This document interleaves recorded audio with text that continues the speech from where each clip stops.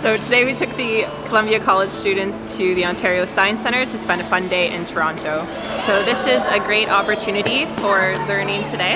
Uh, it's an interactive hands-on museum where they get to learn about science while also having fun with their friends and their peers.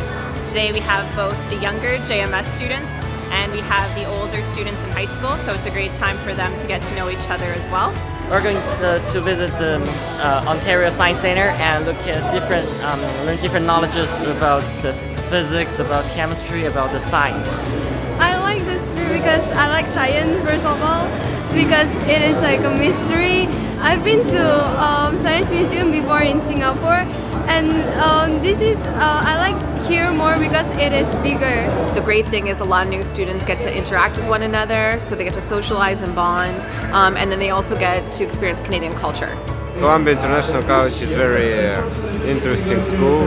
For one month I met so many people from uh, other countries, USA, from Canada, from uh, China. Every semester more and more students keep coming and I get to chance to make more new friends and it's fun. This is my first time here, as well as my first time in Canada. I've never been here. Actually, in China, we don't have enough time to visit any science center, and uh, I'm looking forward to everything here. In the beginning, I was really nervous because I didn't know any about anyone, but now I'm getting used to. I knew, different experience being here and it's a big change from my country to this country. It's a great, a great experience here, and uh, I like it. I can have a very good balance uh, between study and uh, keep health and uh, some kind of trips. I can also have fun here. In this book, they said you can touch the tornado in the living earth, and this is what I'm gonna do.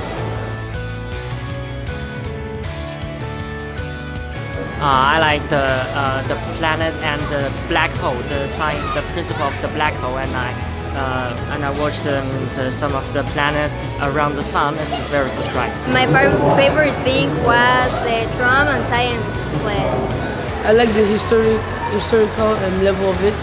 Like um, I would, I would like to come back future. I am like looking things that I have never seen before, and I'm actually enjoying the trip. It's a fun place. Mm. I recommend coming here again if possible. It's great to see some of the kids in the science club here, and hopefully some of the stuff we do here we can bring back to our club.